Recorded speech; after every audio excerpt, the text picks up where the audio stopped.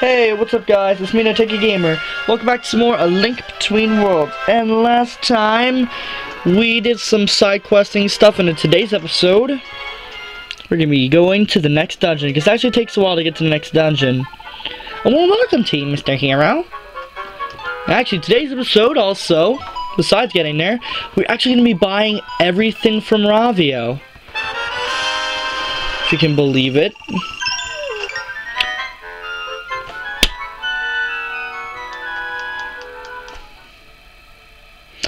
I am an idiot.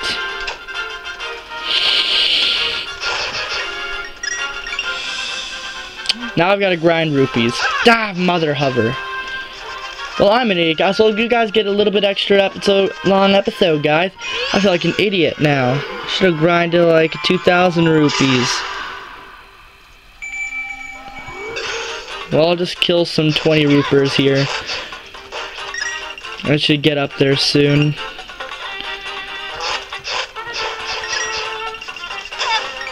Okay, I think I only need to two, kill two more of these guys, and then uh, I'll have, uh, oh, what, they don't respawn? Oh, there's a guy over here. Yeah. One more 20.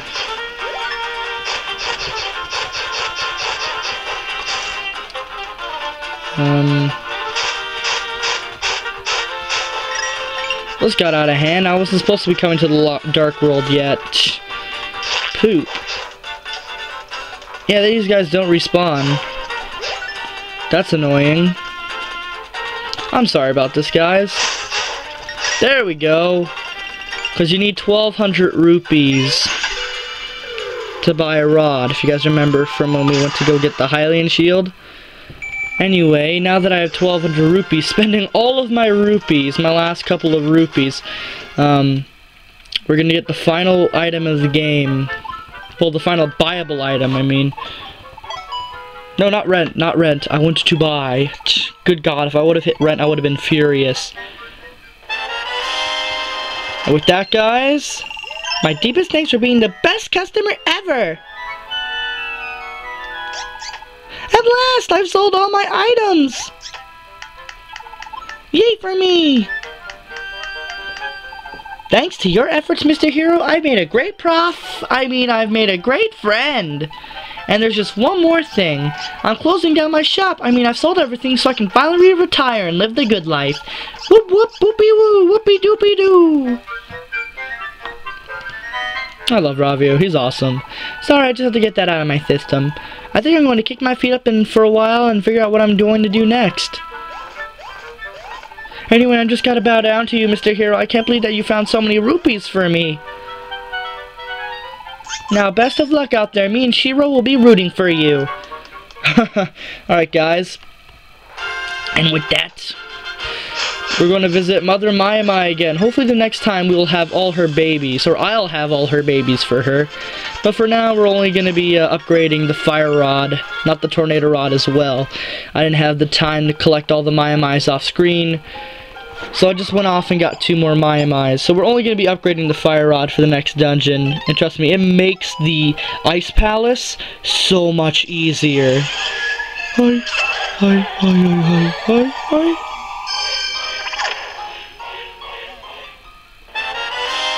Now we have the nice fire rod. So basically it's a bigger flame that goes farther. My babies are so shy, you might not even see them when you walk by. Okay, anyway. With that, guys, I'm going to use my bell to get over to the Palace of Hera, Tower of Hera. Because that's actually the area you want to be to get to the Lorule area. You actually have to go right of the Tower of Hera. And actually, I think before we do the Ice Palace, I'll have to do a bonus uh, episode again. Because there's actually a bonus area over here, but it's on the other side of the mountain. So, oh well. For now, we'll just, like, get the warp spots for the Ice Palace and stuff. But anyway, this is inside Death Mountain. We have lava, uh, a huge lava pit below us, and you don't want to fall down because on top of that falling down actually takes forever. Since you can fall down to these platforms you literally fall all the way down until you touch lava. Although there are some places like there where you'll just instantly hit the bottomless pit of death but then there are some spots where you can actually keep falling down. If I remember quickly you want to god dang it you want to go right from here. Yes Rosso's ore mine God, I hate these lion things. Yeah, you want to go this way. God, I love the level 3 Master Sword. Yes, this part is tricky because you want to time... You're falling really good to land on these tiles. that was a close one. I almost messed that up. I always mess up this last one, so... Oh, I just got it. Oh god, stupid keys. And with that, you can take... Oh, whoops. You can take this platform to go all the way back to the beginning. But this brings you to the bottom right of Death Mountain. You actually can't, no, can't normally get over here. Um, unless you take that path. In the original game, you can actually, um, if you got the hook shot, you could explore all of the bottom of Death Mountain. Uh, but you need, but you need uh, the hook shot to get. No, no, no. You need to uh, be able to explore that area. But anyway, guys, we're gonna go into this portal here. Ah, merged link, and we're gonna go into Lorule's Death Mountain.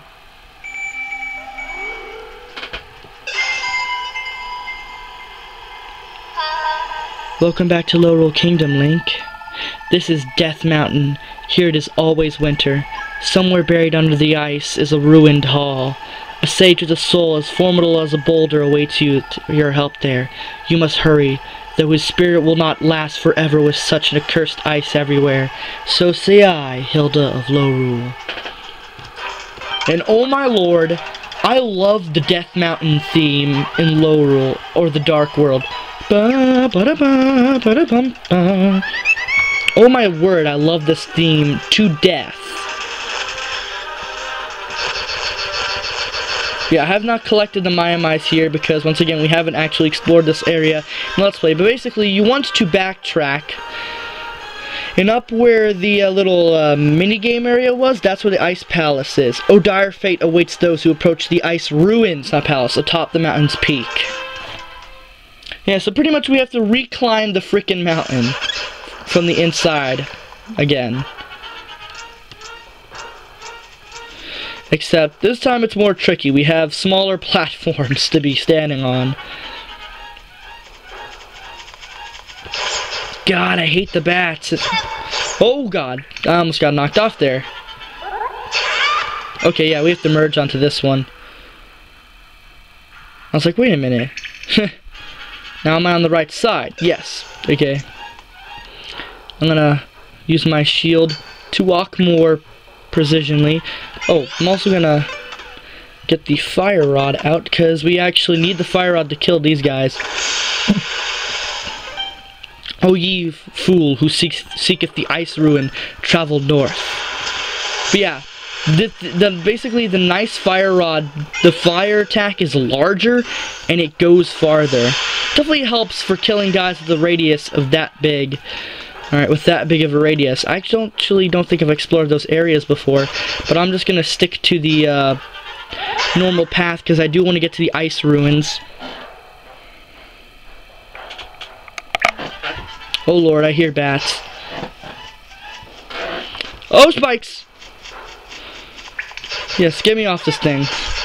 Four more. Oh boy. Get me off so I can get on more. Oh no. I always don't know. I don't know why, but I always hated dodging these things.